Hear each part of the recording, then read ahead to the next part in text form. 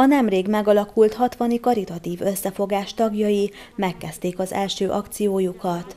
A szolgálat 300 fő részére szállított házhoz melegételt, mindezek mellett tartós élelmiszercsomagokat is adományoztak, annak érdekében, hogy szebbé tegyék a hátrányos helyzetűek karácsonyát.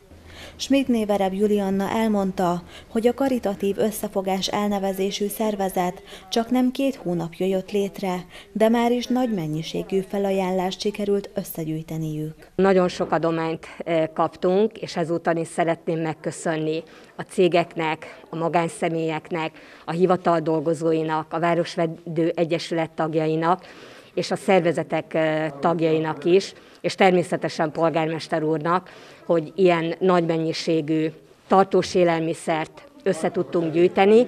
Ez körülbelül 150 családnak fogjuk eljuttatni, illetve egy fél óra múlva 300 adag melegételt szállítunk ki a város minden pontjára a rászorulóknak. A csomagokban kristálycukor, liszt, kalács, szaloncukor, gyümölcsök és tea is található. Mindezek mellett babgulyással is kedveskedtek a hátrányos helyzetű családoknak. Rékasi Erzsébet elmondta, hogy nagyon örül a támogatásnak és az adománynak, hiszen évek óta egyedül él nehéz körülmények között karácsonyra egy kis ajándék. Ennyi minden. Egy kicsi... Nagyon jó, hogy így segítenek a szegényeken, mert magam vagyok egyedül. És hát azt kérem a jó Istentől, csak hogy már minnet ülünk ez a vírus, hogy ma lehetnénk, mehetnénk-e. Az ünnepek alatt csak sajnos egyedül vagyok, mert sajnos testvérem volt, de mind meghalt a garambolba hat éve. A szót meg hogy hol garamboztak, mind meghaltak, és magam vagyok. Igen, hát a szomszédban van, de hát a szomszédok azok mindenki magáéval törődik, nem én velem. Van a tévé, ha nézem, meg a rádió, van semmi. Meg a templomban megyek, az, az a gyűlök, az kész. Ennyi.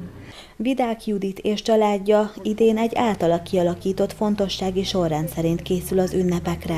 Hogyan készülnek a karácsonyra? Szépen köszönöm. Hát nehezen készülünk, mert ugye vannak rezsik, azokat elsősorban ki kell fizetni, mert annélkül nem lehet édesem. Van két pici unokám, fiam egyedül dolgozik, úgyhogy szűkösen nagyon. Kivel élnek itt? Fiam és a menyem és két kiskorú gyermek. A 60 karitatív összefogás tagjai a jövőben is azon dolgoznak, hogy támogassák a nehéz sorsú embereket, és megkönnyítsék a mindennapjaikat. Vigyázok!